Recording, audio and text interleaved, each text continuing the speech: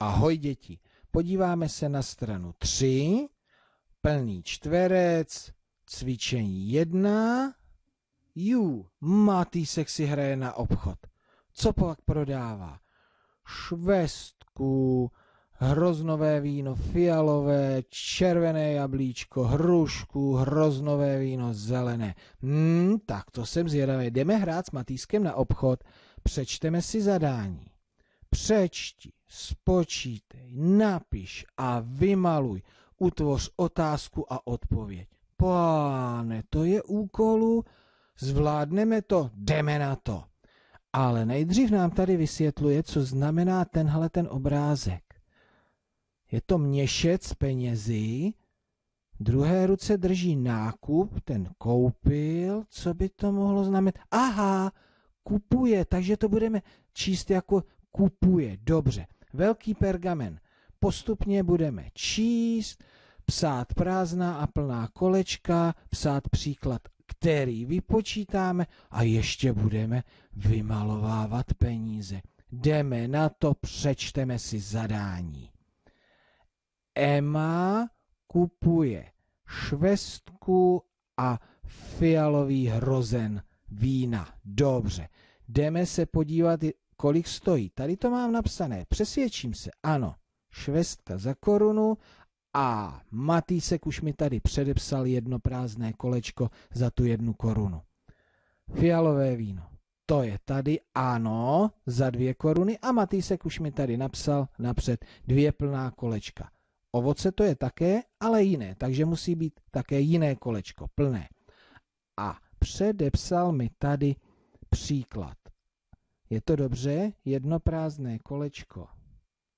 Píši číslo jedna a k tomu přimaloval plná kolečka a, nebo klidně říkejte plus, dvě plná kolečka, píši číslo dva. Tak, teď se mi to podvedlo lépe a mám to vypočítat, proto píše rovná se jedna a dvě rovná se tři.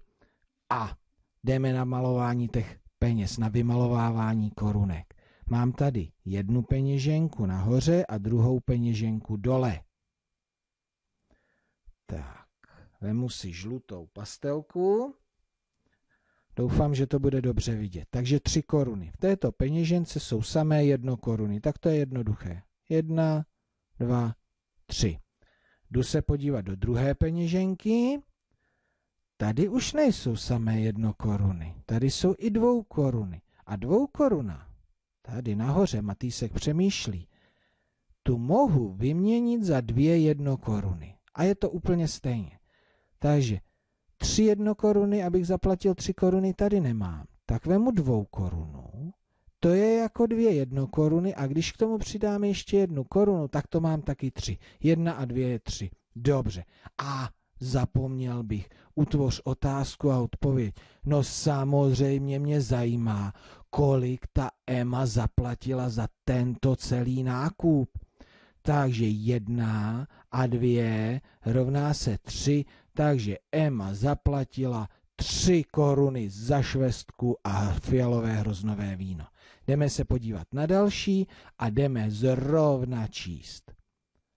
Máma kupuje jablíčko a švestku. Kolik stojí jablíčko? Musím do obchodu. Tady je to napsané. Mhm, jednu korunu. A já si to hned znázorním jedním prázdným kolečkem. A ještě švestku, švestka, švestka. Tady. Také jednu korunu. Jiné ovoce, jiné kolečko, jedno plné kolečko. Tak, podle tohohle znázornění napíši příklad. Jedna a jedna rovná se, kdo pak to ví? No jasný, jedna jedna rovná se dva.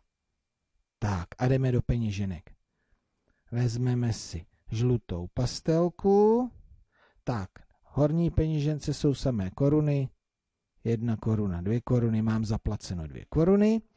A v druhé peněžence no také můžu jenom dvě, dvěma jednokorunama. Ale proč, když tady mám dvou korunu? Já dám paní prodavačce dvou korunu. Tak, a zapomněl bych zase na otázku a odpověď.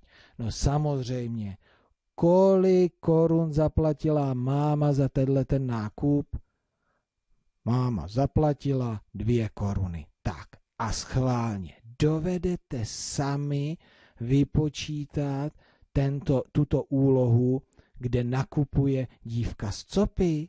Hmm? Dovedete to? Já si myslím, že ano. Tak hodně štěstí.